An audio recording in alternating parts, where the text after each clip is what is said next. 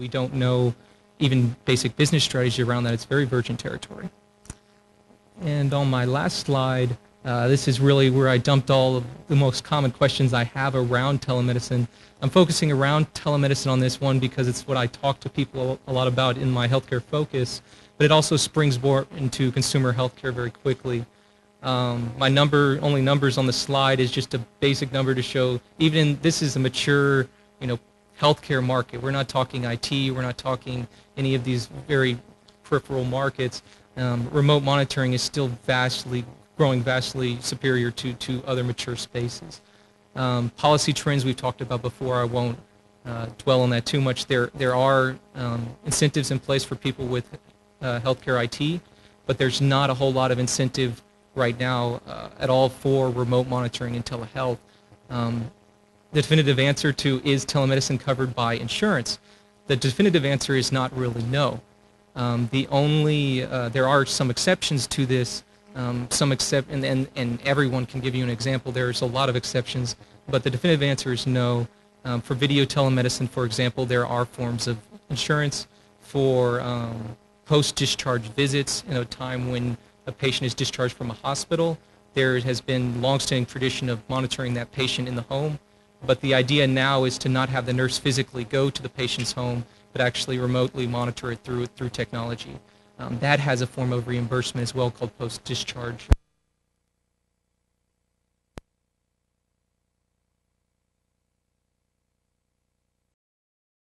Uh, studies around the, or study outcomes right now. For outcomes data, for clinical outcomes, if the patient is doing better because of these technologies and services, um, there's very strong evidence around this. The most recent was the Veterans Healthcare Administration has done large-scale studies, um, uh, 17,000 patients, um, which is what a lot of people were, were waiting for, a large-scale pseudo-randomized study. And the results on outcomes were very positive, 25% um, reduction in bed days for of care.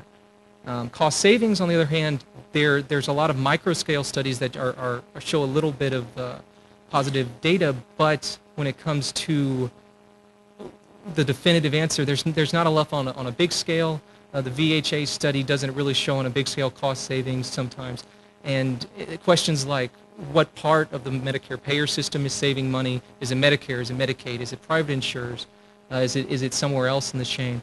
And also, what department within the hospital um, really really shows that that that savings? Is it that you know, of course, if you're keeping people out of the critical care room, maybe your regular visits are going to go up quite a, quite a bit because people are taking care of themselves better. Um, but, but, but that's my, uh, my common questions here. I'm sure we'll have more in a little bit. Uh, Doug McClure is our next speaker. Doug is uh, with uh, Center for Connected Health, which is part of Partners Healthcare in uh, Boston.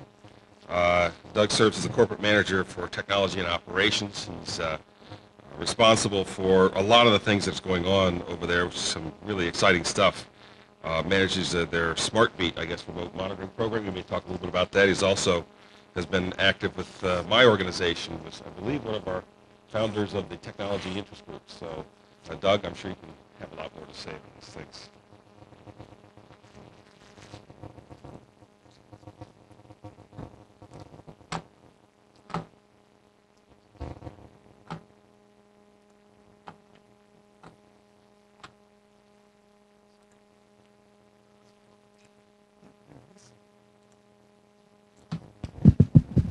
Great. Well, thank you very much. So, uh, uh, Zachary, I share the challenge, right? We wanted to uh, try and keep our presentation short so we can get engaged in a dialogue. So, I have just a few slides to try to encompass a whole heck of a lot of activity that's going on at Partners Healthcare. Um, so let me be clear, Partners Healthcare is a care delivery organization, right? That means we have hospitals. Some of them are brand names that people would have heard of, like Massachusetts General Hospital or Brigham and Women's Hospital. We also have home care services, et cetera. Now, this makes us on the, uh, there have been a couple of, couple of nice slides today about the triangles intersecting, right? One side versus the other. I think that's really important to understand is there's healthcare, and then at the other end, there's wellness. And in the middle, you might call some of this stuff disease management. And when you pull apart the markets, actually the way all of it gets paid for is different from where you are in how the triangles intersect. And this is a challenge. It's a challenge, especially for a healthcare organization like Partners, which has uh, very traditionally been how do we get reimbursement for care that we deliver in our hospitals and in our clinics.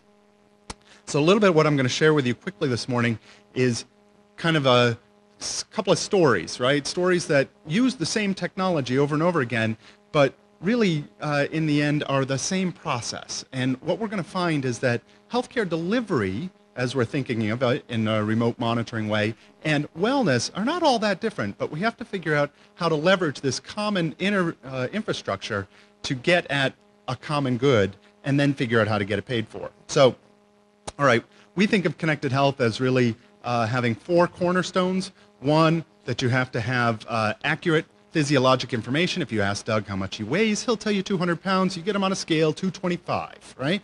That is the difference between overweight and obese. It is the difference between some uh, serious healthcare issues and, and maybe even more serious healthcare issues, right? Real outcomes difference here. So you have to have objective truth around numbers. Two, you have to get Doug engaged in that conversation, right? You have to engage him in what does this number mean? mean? Now, weight is an easy one, uh, but we've done lots of work around blood pressure, and you'd be amazed how much misunderstanding there is about what is a good blood pressure number. Is 120 over 80 good? That seems like it sounds good. How bad is 140 over 90? Right? How bad can 160 over 95 be? Doesn't seem like it's that big a number. So you have to get people engaged in understanding what those numbers mean. Three, you have to aim all this conversation at trying to achieve some common care goals, right? Uh, so for Doug, it might be that he's going to kind of trim some of those extra pounds off so that he can avoid problems down the line. Other people, it might be we're going to bring their blood pressure under control, or it might be helping uh, people with type 2 diabetes get to control of their blood sugars.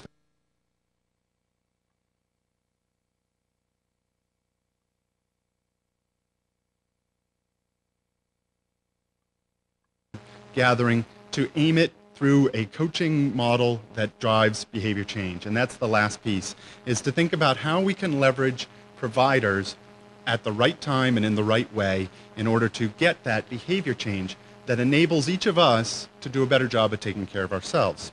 So with those four cornerstones, we end up with models where we take care of patients that have heart failure, right? Uh, these are very sick patients that uh, come out of the hospital and uh, go home, and then oftentimes they end up right back in the hospital, and that readmission is a very expensive proposition. And the way we do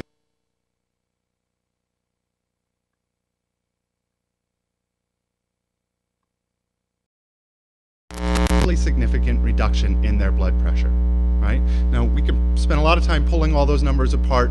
What was it? Was it the cool blood pressure device? Was it the cool website? Was it the uh, way that data uploaded? Was it the automated coaching? We don't know yet. And that's the research path that's out ahead of us all as we move forward. But the important thing to understand is this is a program that begins to look lo- more like disease management and almost wellness services as opposed to something around healthcare delivery that we were thinking of for our heart failure patients, but the technologies being used are exactly the same. All right, so let me share the one that kind of bridges right over to where we are today, where we're really talking about wellness services. So, this is a program around activity and weight monitoring. So, these are patients, uh, I'm sorry, I'll take that back. They're not patients anymore. They're program participants. These are not patients of Partners Healthcare. These are people who uh, um, their employer has decided that they're going to offer out a benefit where they can get engaged in a uh, activity and weight loss program. Same kinds of technologies, right? Some monitors, whether they wear them, step on them, etc. Data flows. It ends up in a system where, as you can see, the individual can interact with that information, get engaged in it. There's an automated coaching engine behind there, kind of helping people understand how well they're doing. Uh, and in the end, what we're after is the outcomes, right? Do people actually get more active and lose weight? Same technologies, same processes, different part of those intersecting triangles that have come up. Uh, so this program is live today. So let me, uh, let me finish up quickly so we can get to the discussion and just say, if we think about what the numbers are, right? If I shared with you that we have 275 or so congestive heart failure patients that we're monitoring at any given time right now, and the number of hypertensives and diabetics that we're monitoring, uh, type 2 diabetics, uh, around partners right now, that number comes in at about 200 or so, right? Uh, when I share with you the wellness programs that we're beginning to deliver out, those numbers